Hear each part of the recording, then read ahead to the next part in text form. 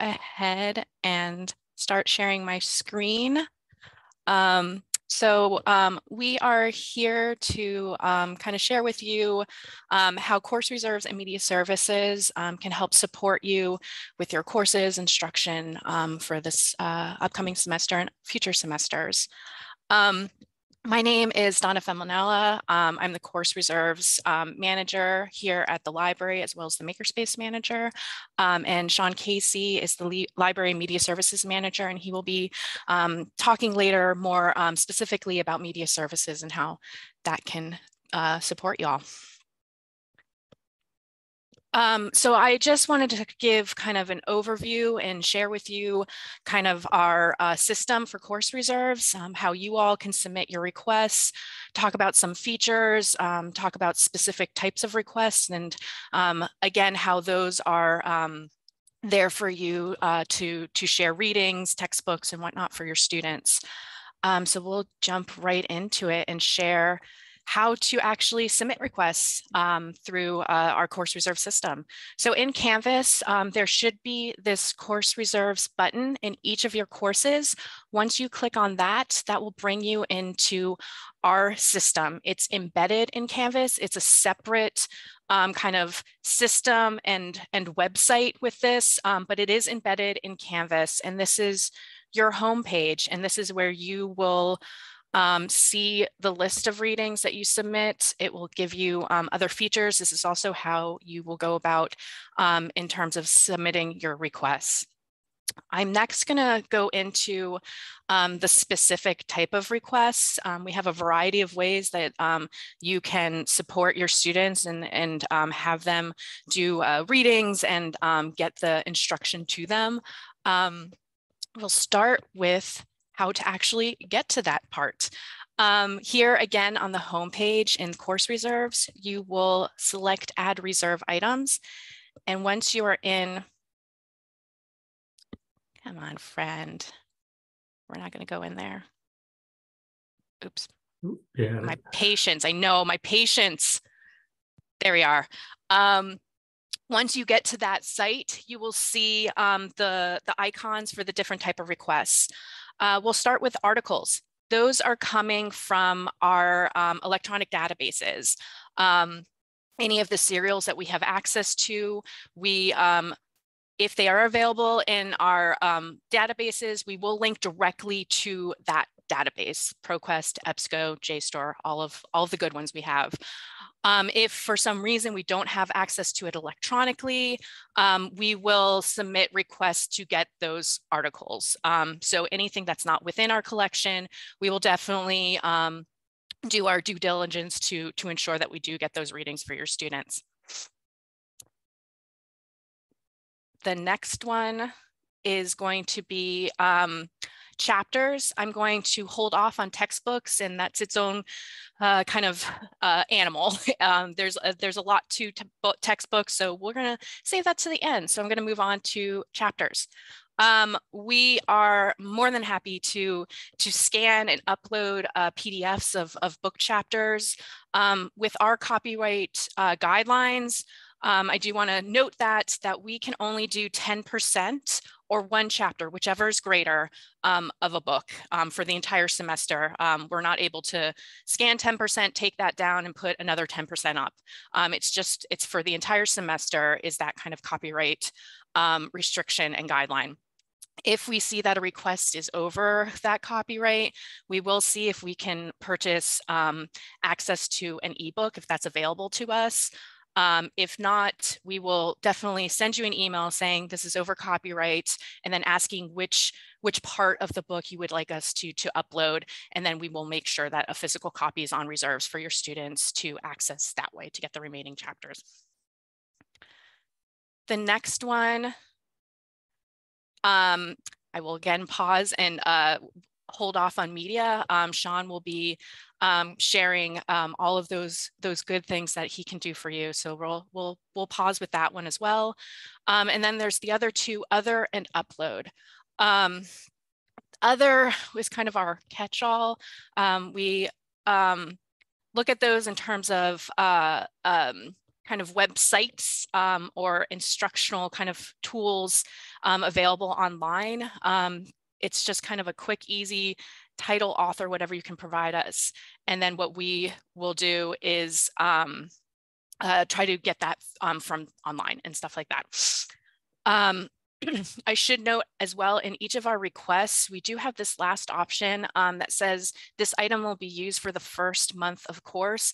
It's just as we are entering our busy period um, with requests coming in, it uh, allows us to prioritize requests. So if there's something that you need kind of more immediate um, definitely click on that when you are submitting your request, just so that we can know that that is a priority and we will get to those before we wait to any readings for later in the semester. I now want to um, jump ahead to our textbooks. Um, so for textbooks, we have been lucky that the library has um, prioritized and given us resources to, to purchase ebooks. Um, with uh, the pandemic, that was definitely um, a necessary thing to do to allow access to, to students to still maintain um, course readings. Um, and we've continued on with that um, procedure. Um, we, when we see a textbook request, uh, we will first see if we can get it as an ebook. Um, we look for institutional wide licenses. Um, and if we can, we will then purchase that. Um, I should kind of note with licensing, it's um, dependent on the publisher and how they have um, provided access to institutions. Um, you might see that you're able individually to purchase or your students are able to individually purchase um, an ebook through um, a publisher website, but that might be their, their own kind of proprietary platform that we as an institution do not have access to. When we do look at licenses, um, we always um, look for unlimited. If that is an option to us, we were we will purchase that. Um, if that is not an option to us and only um, single user licensing is available to us, we will purchase um, at least three single user licenses. What that means is three students, three patrons are able to view um, that full text at once. For our physical collection, if we are not able to purchase um, an ebook, we um, have um, really made it um, a priority to, to get um, as many options and access to students. If we if it is part of the ebook and also part of our physical collection that we already own, we will make both available to your students. Um, if only the it's only available um, as a physical uh, book, we will try to get at least two copies on reserves, and those will have different loan periods for students to borrow it. Um, when a student is borrowing from our physical collection, they are visiting our circulation course reserves desk on the first floor, um, and we provide, uh, we get the call number, um, and then we give them the, the book to borrow. It's going to be either a three hour loan or a one day loan. And again, what we are trying to or striving to do is placing two copies on reserves, um, one being a three hour loan and one being a one day loan. Again, giving um, students the ability to kind of um, have access to these materials in, in a multitude of ways.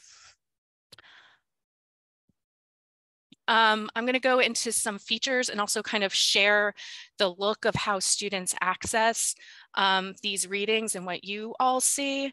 Um, we're going to go back to the homepage of course reserves in Canvas. Um, again, this is um, what you first see when you enter. This is your view. Um, students have a slightly different view and I will go over that in just a moment. Um, but again, these are the, the list of readings that have been submitted. Um, as you can see here, you're able to um, see our status um, of, of the readings. Um, this one, for example, is an article. Um, students, once they click on this reading, that did not work, which is amazing. Go back. Oh, sorry. We'll go back in.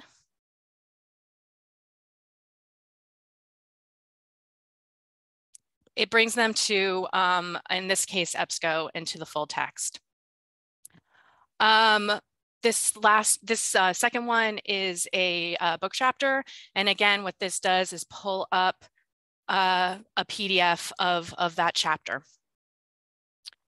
Um, this next one is um, was considered part of like uh, it's the other one. It's um, uh, a website, and again, once uh, students click on this, they will get to that website that has been um, put in. These next two are the physical books, or sorry, our, our textbooks. Uh, this first one right here, where it says item available at the reserves desk, that is a physical copy. Um, when students click on that, they will get to this page and they will get the call number, which is what we need. And they are able to also click on that link, which brings them to our catalog, and they're able to see if uh, something is checked out or available. So then they know at that time that it's available to them to come and borrow from our desk. The second one was an ebook. And again, what this does, similar to the articles, it will bring you to um, the database. Uh, this is an example of one that we only have three um, user licenses for. Um, I will note, similar to articles, we are pulling from a, uh, a, a, a variety of databases. Um, so each platform will look slightly different in terms of how you get to the readings, how you get to um, accessing chapters, um, pages, and whatnot. Um, they are often pretty um, intuitive. Um, it's usually a listing of the table of contents and you're able to um, click on that read um, on that specific table or chapter or, or um, uh, page numbers. Um, this is again another note thing that uh, the publisher or the, the vendor kind of limits. There are some that you are able to download an entire PDF of the chapter. You're able to put like uh, print hundreds of pages, you're not able to print anything. Those restrictions are all kind of listed within this um, this record. Um, and again, it varies by by book. It's not even by platform. It varies by book um, in terms of what you're able to to do. Um, you are always able to read it online. That's always the case. Um, but in terms of printing or downloading, there are um, varied options depending on the title. Um, I wanted to go into kind of using readings from a previous semester. Uh, that is under add reserve items. And once you go here, you will see kind of you scroll a little, this import, import items from a current or previously taught course.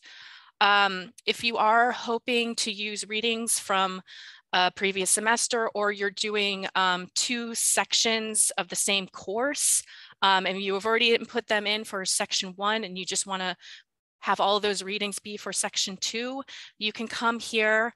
When you click on import items, it will give you a list of all of those readings. You're able to unselect anything that you do not want to um, have submitted, and then you're gonna click on import items, and that will then move into our system and into this course.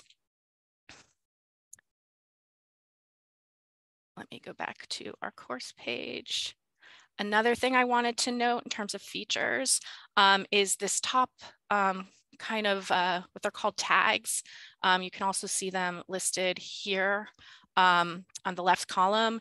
These are kind of um, a way of grouping your readings um, so that students is like, okay, great, week one, I can just click on this and it's just gonna pull those, those readings for week one. Sometimes um, when you have um, many, many, many readings in this system, this list can be overwhelming. Um, so that's a good way to kind of group your readings. Um, and that option is available when you are submitting the request right here under this course tags, and that's what's visible to students. I will say um, if you, this is very, um, what's the word I'm trying to look for? If you put week one um, in one of the, the requests and then week zero one by accident, that it's going to show as different tags. So it needs to be the exact wording, letters, language that you used um, if you want to group these uh, readings together.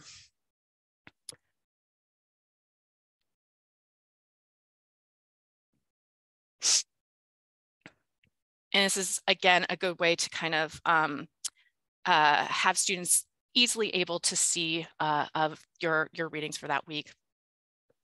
Um, you are able to uh, change kind of this if you're like, actually, I only have a few readings, but I do want them to be organized in a different way.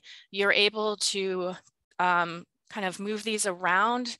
Once you have done that, always click on this save item order, and that will save that. And again, as being the um, kind of instructor or administrator of this course for course reserves, you're able to do that and it saves it for everyone.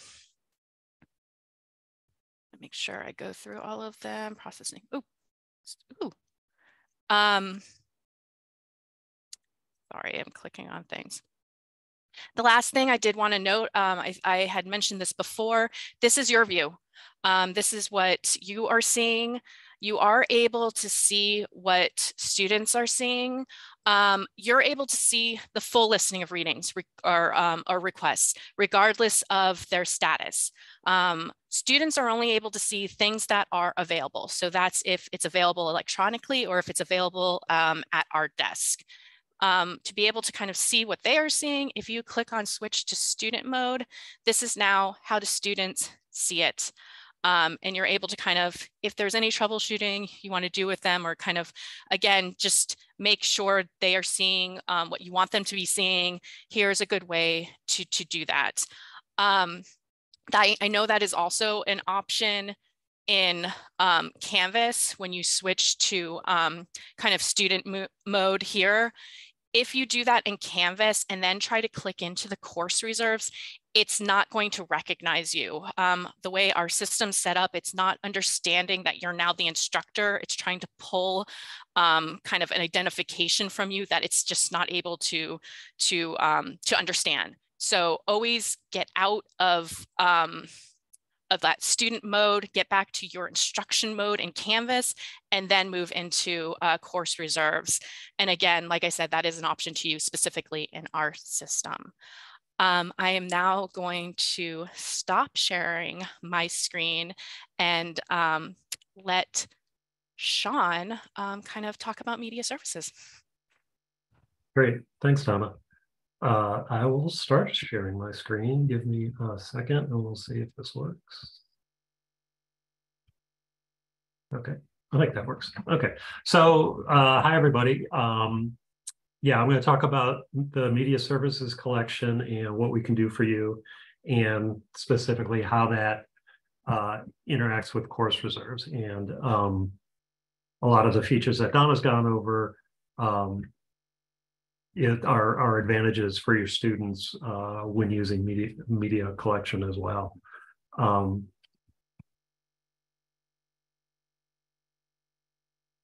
anyway, that was just slow. Just a minute. Um, so the, Donna showed you that uh, media request button within course reserves. Um, these are the kinds of requests you can make. Uh, so if you want a video, if you want your students to watch a streaming video, uh, you can make that request through course reserves. Uh, and then the advantage is your students can find that with your course. They don't have to go to the library catalog or to go hunting for it somewhere else. Uh, it's just on there with all your other readings, uh, and it's simple for them to find there. Uh, you can request uh, physical DVDs, and we have Blu-ray discs as well.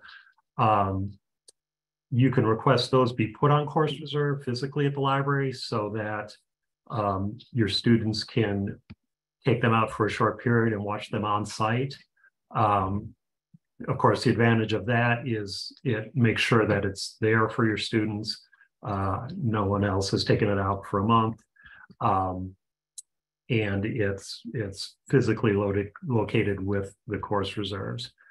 Um, you can also request uh, DVDs and Blu-rays for pickup. So if you're planning on showing a video in class, um, you can request it through course resort, course reserves for the date you're going to show it.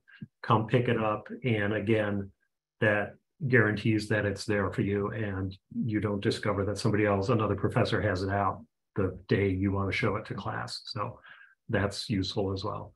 Um, it also shows the students that this is something that you're going to show, and so if they want to watch it ahead of time, or if they miss that class and want to watch it later, it's on their course reserves to know to come to the library and get it. Um, You have a question in the chat sure. asking, for those of us who teach remotely, can we access videos, DVDs, screenings be streamed on Zoom? Uh, I will get, I'll get to that in, in a bit. And, uh, if I don't cover that, remind me, because yeah, that's, that's definitely, uh, uh, an option. Um, the, the last option for what kind of request you want, uh, is you can set up a screening in the library. So if you don't want to, um, take class time to show a video, you can set up a screening for your students to come to the library and watch a video. Uh, you can also bring your class to the library. So I know a lot of the classrooms uh, are not really the best location to show video. Uh, they may not get dark enough. The seating might be wrong, might not have a good projector. Uh, but we have a classroom. You can bring your class to the library and uh, show a screening on site with us. Um, so I'm not going to go too much into why consider video. Obviously, I think it's an important uh, instructional tool. All like studies and things say, you know, it it uh, makes an impact on students. It's a it's a excellent way to get across um, topics in a short amount of time. Um, so video is, is, is a great tool for instruction. Uh, our, our media collection is very good, especially for a school our size. Uh, we have over 20,000 DVDs. We have over 100,000 licensed streaming videos. Uh, and these are all in the library catalog where you, you can find them. Um, over 100 courses a semester use video. Uh, in a year, library videos are watched by you know 45,000 plus uh, viewers. Um, everything is not rosy, and so I'll I'll acknowledge this. Um, so this is from a study that was recently done by a, a consulting group called Outsell, um, and they talked to talk to library faculty about using video, about pluses and minuses, what what their experience is. Uh, and these are the sort of the barriers that faculty expressed about using videos. So um, first one is, you know, technology challenges. Obviously, it's more technologically involved than um, reading a physical book, right? Um, uh, at, at AU specifically, I think we've done a, a pretty good job of solving that kind of problem. Uh, we've been doing uh, video online for 15, 20 years. Uh, and so it's gotten, like most importantly, like the platforms have gotten very stable. It's not like things disappear or uh, um, you get buffering issues or things like that. Um, basically, if your students can access Canvas, um, they can get into the course reserves and access the videos the same way. Um, so there aren't a lot, you know, every system has hiccups, but even when there's uh, some problem, the uh, the time to solution is is usually only a matter of hours. Um, people also also express concerns about lack of off-campus streaming. Um, all, all of our videos are set up for both on campus and off campus. So students have to authenticate so that the vendors know that they're with AU, that they have the right to access. Um, but if they can log into their regular AU login, that's what's used for logging into the videos. Um, so it, it works as well as that works. Um, briefly about off campus, there are there are issues with students in other countries. Um, issues, uh, depending on where they are, issues about like the bandwidth they have on their internet connection, uh, and issues about what that country blocks and allows. Um, so if you have students currently in China, there may be uh, there may be things that they just can't get to, uh, and not a lot that you can do about that. Um, so it's good to look into it ahead of time when, when you're deciding what kinds of things uh, you want to assign. Uh, faculty always also express concerns about copyright problems. Uh, copyright is a very big issue in video.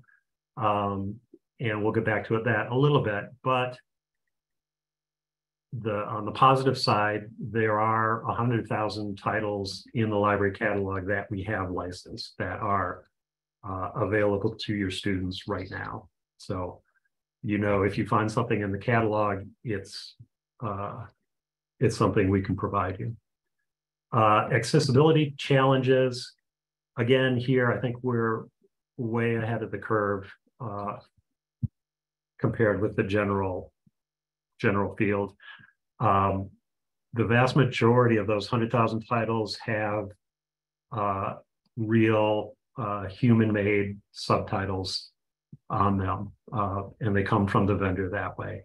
So that means that the subtitles are written or created by professionals, uh, and it and they don't rely on machine reading to create them. So if you look at your uh, your general YouTube video and try and look at the subtitles or even like Zoom, those are created on the fly by uh, the program and they can be less than ideal, especially if you're relying on them to get the content of, of, of the meaning. Um, our videos come with subtitles that are much better than that. Um, in addition to that, if you have a student who specifically needs uh, subtitles for access issues, um, they can make a request through um, the academic uh, support office, uh, and they will they will buy uh, real subtitles and will attach that to whatever video you you are using, whatever video you need, uh, and that's for accessibility support. Um, and finally, I won't say we've solved search and discoverability, but um, the the one thing is everything we have is in the library catalog, and so all the search features that are in the catalog for looking up books, looking up articles, uh, are available for looking up videos, and uh, putting the videos in Canvas makes it as easy as possible for you students to find them. Um, the video is where your students are; they're in Canvas all the time they're in course reserves all the time. And so that's where the videos are for them. Um, the other thing from this report I found interesting was, so where do professors find the videos that they, they want to use?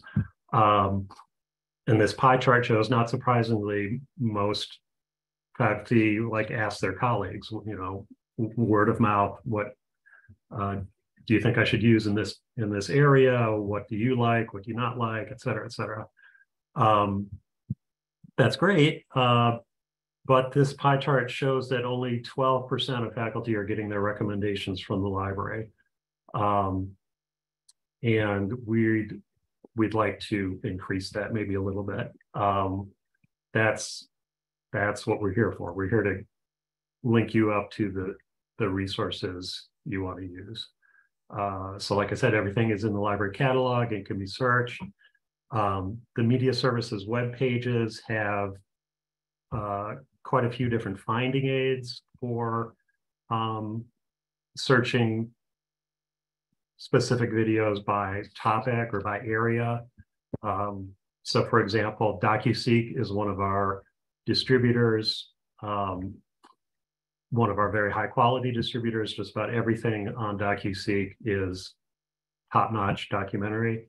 Um, they have over six hundred subject areas uh, listed out for to help find titles. So uh, you can go to that um, subject guide, and if you are interested in you want to show something about environmental science, they have a subject guide for that. If you want to show something about Laos, they have a subject guide of their Laotian videos. It's it's really excellent. Um, and finally, um, media services is here to help you determine, you know, find resources. So you're always welcome to contact us. Um, you contact us through the Canvas request button that we've been talking about and just like put a note on your request. Uh, you can reach us at media services at american.edu, or you can meet, meet me directly at Sean C at uh, american.edu. Um, so brief, this is sort of, I guess, background and briefly. If you're looking for a title or you have a title in mind, you don't need to be worried about where it comes from, if, what distributor it comes from, or any of that. That's that's what we're here for. Um, but the videos we get are a couple of different types. The majority are licensed through a collection. So we will license the DocuSeek collection and we'll get 50,000 titles from them and those will go in the library catalog. Um, that's the majority of things uh, we get. And those are just renewed every year. As long as the distributor has them, they'll appear in the catalog. Um, we can also license things for you title by title. Um, so if there's a specific, um, I don't know, PBS documentary that you saw two years ago, um, and it's it's not on one of our distributors, we might be able to license that through Kanopy or through Swank, um, just that specific title. Uh, those are annual licenses, so have to be renewed and paid for every year. Um, but if that's what you're using, that's, you know, we're happy to do that as well. Um, and then finally, there is, we do do uh, some fair use streaming, and this is uh, streaming from our DVD collection. So if we own a DVD, under some circumstances, we will be able to stream that to your class through Canvas. Um, the title cannot be available in any format or in any way on the on the internet. So uh, we can't be. It has to be unavailable for us to license, and it has to be unavailable for an individual to rent themselves. So that means we can't license it for typically 150 600 to 600 dollars. Uh, students can't rent it for typically three dollars. Uh, if it's not available at all on the internet then we can stream it if we have it on dvd in our collection. Uh, when we do that we can stream it for your course only and only for uh, the spe- specific semester that you are using it. So it disappears at the end of the semester. Um, and then if comes around next semester, you want to use it again, we have to make we have to make that determination again. Is it available? Is it not available? Um, to to satisfy the fair use uh, restrictions. Um, lastly, so what we can't do. So if you ever want to get a librarian uh, worked up, you know, that we hear this all the time. You know, oh, well, you know, why do we need libraries? Every book is available online. Um, obviously, that's not true, but we also hear the same thing about video. You know, all videos are online. Why can't uh, you know we just get access it? Um, there's a lot of videos that we do not have access to um, and a lot of videos that would be phenomenal in uh, university instruction. Uh, so Hamilton um, could be used for a lot of different courses. Um, we do not have access to that in any way. Hamilton is a Disney Plus exclusive, so you need to be an individual with a Disney Plus subscription to access that. Um, same thing with the the 1619 project. They did a documentary in addition in addition to um, the book, etc. Uh, that um, that is not available to us uh, because it's exclusive to Hulu. Um, I would love to get reservation dogs for classes because that is one of the most important TV series of the last couple years, completely written, produced, act by uh, Native Americans. It's important for uh, for the history of media, but it is not available to libraries. Um, so I guess the the point of all that is, if you're interested in a topic or if you're interested in a specific title, um, con contact us as soon as soon as you can, um, so we can figure this out. And uh, if we can, we'll get it, we'll license it. Uh, if we can't, we have hopefully lots of uh, alternatives that we can suggest for you. Um, but all this takes time, so as soon as possible is, is the best. Um, and I will end my screen and if anybody has questions um, about the online courses. Um, so specifically streaming through Zoom, um, there's uh, there's some issues with that. So if you have an online course, the best course of action is to use Canvas or use course reserves, right? And we can link a video to there and you have no problems. If you're using one of the, uh, what are they called, the third party learning systems that AU uses, uh, we can all we can also work with those. Um, some of those use the course reserve system and it's, it's the same process. Some of those third parties don't, and we can just send you a, a secure URL for using for your class. Uh, if you want to just stream something through Zoom, uh, say you you are a Disney Plus subscriber and you want to uh, show Hamilton to your class, there's there's a couple problems with that. The first is um, you're violating your license your user agreement with User Plus um, because your user agreement specifically says that you are you, you are viewing it as an individual and you are not sharing it. Uh, so that's that's a contract between you and Disney Plus, and um, that's up to you to determine whether you're going to do that or not. Um, in addition to that, there are technology issues with doing that. Um, first of all, your computer and your connection have to be robust enough to do that. So that's that's a lot of processing for your computer. You're running Zoom, you're downloading the Zoom feed, you're uploading the Zoom feed, uh, you're downloading the streaming feed from the vendor all at the same time. Um, so so that that takes a lot of whatever horsepower and, and is not always smooth. Uh, the other hurdle is that more and more of the uh, video providers are getting sophisticated enough that they can tell through their stream what you're doing with it. So they will just flat out prevent you from doing that. Um, but that's that's all a determination for you to make yourself. Uh, I would just say uh, test it ahead of time if you're going if you're going to try and do it. Test it ahead of time so you don't get stuck in your class, and and you know you end up zooming a blank screen to your students.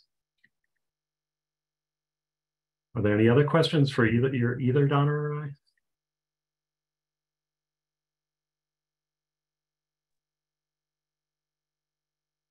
Yes, hi. How you doing? Hi. Hi, Sean. Hi, Donna. Hi. So um, I'm a uh, I'm a new instructor in uh, Kogod this year. I'm not a professor by trade. I'm, I'm just um, just a guy who has a lot of real estate finance experience and retired. So um, Don, I just sent you an email because frankly, I'm, you know, just trying to get everything set up just to get to the classes, you know, getting the class and getting my ID and all that. But I want to get my core, I want to get my textbook um, on the course material. So I sent you the email. Is that enough at this point? Yeah, I should have noted that um, earlier. I am happy to receive emails um, or of syllabi, listing of readings, just a, a one-off book. Like that is definitely an okay way to submit requests um, as well. Um, I will note for syllabi, um, if I do get a syllabus, um, I will focus at this point just on the first month readings and any textbooks and then wait Yeah. to submit. Um, but yeah, no, that's Now, this definitely, is just, this is just one, it's, it's like old day when I was in school forty years ago. It's basically one textbook. Yep. And that's, I just, so can you help me understand a little bit more? I mean, I've been in the, sitting here listening to training, but this is all new to me. I mean, when I went to school, there was no videos, there was none of this stuff. And of course, where I work, we had all this, but I just wasn't intimately involved with the process of it. So in this case, um, if the, the textbook is on the course, is listed on the, uh, on the uh, course uh, reserves, um, what, what is kind of the likelihood that students, because I, I don't care if they use an ebook, I don't care if they use a hard copy, I don't care where they get it from unless just ensure that it's, it's proper and, and obviously legal. Um, what's usually the case? You, you, put it on the, you put it on there and then they go and look for it. Is that how they, and then what, what's the chance of them being able to, um, do they, I mean, do students generally go through this process or do they go out and find it themselves? I mean, I'm just, I just don't know the process. no, that's an excellent question. Um, so uh, I will say for textbooks, um, the majority of what we find is students just show up at our desk being like, is this book on reserves? My my either my faculty, my my instructor told me it was, or they're just hoping it is. Um, so with that, we are searching our catalog and and um, kind of directing them that way. Um, we, I think in some ways we hope because it is a way for students to access this on their own, um, that they would go to course reserves and then they can see that textbook listed and then they can see where it is if it's either an ebook or if it's electronic or sorry if it's um, available at the desk um, but for the most part student behavior is they show up at our desk Okay. So, um, so anyway, so if I send you that email, then you can help me out with that. It's pretty straightforward. I just, okay. Um, and is it generally, and then I got one other question and I don't want to hoard the time. So the other thing is generally, um, textbooks, um, this is from McGraw. Um, so do their textbooks, do they generally allow students to have more than, I mean, does allow, how do I ask this in, a, in an intelligent way? So do they allow them to lease them generally for a certain period of time?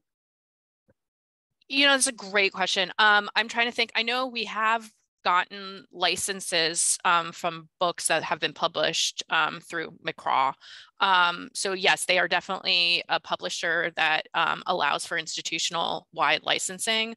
Um, so it's what it what happens is we purchase that license, so we have it um, from that point forward.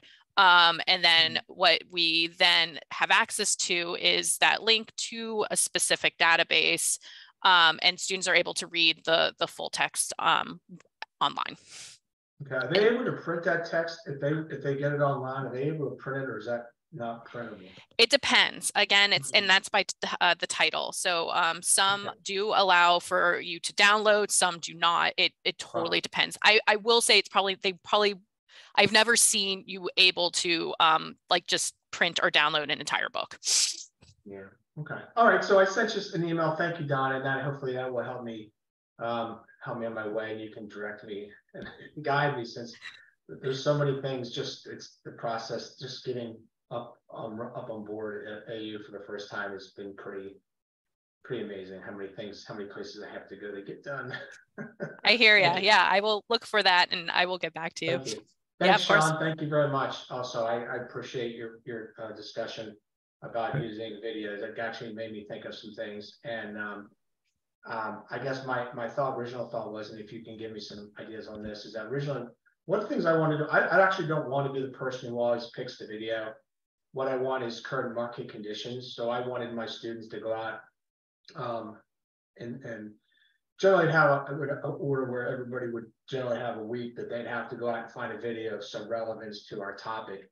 Um, or in the, the real estate, uh, finance area, and then they would have to post it in Canvas and then, and then they'd lead a discussion about it. Um, is that something that, is that something that you're familiar with, with professors and instructors do? Or is that, am I like doing something that's kind of like not? No, no, I, I could totally see that. Um, like, like you said about going to a bunch of different places at AU. So if your students are posting videos to Canvas, uh, I would talk to the e-learning office. Uh, just because they manage the Canvas platform itself, where your Right. course, where your course is. Um, and so the functionality about um, you allowing people to post to your course, uh, sharing resources in the course, um, they can help you out with with all that sort of stuff.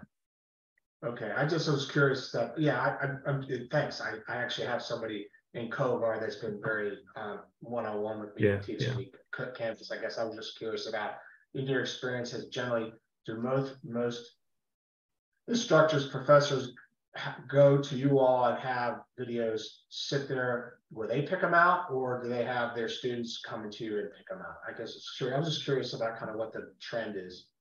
Uh, I think I mostly get requests from faculty that the faculty have determined this is what they want to use, but um, Okay. yeah, there have been there have been cases where oh, we're going to vote on what we're going to use later in the semester, and and they'll get back to me, something like that. Thank you. Thanks, Sean. Thank you, Donna.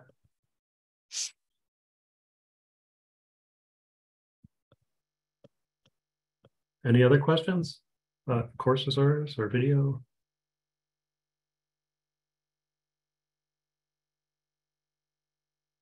Thank you. All right. Um, well, yeah, we uh will not hold you any longer and um give you back some time, but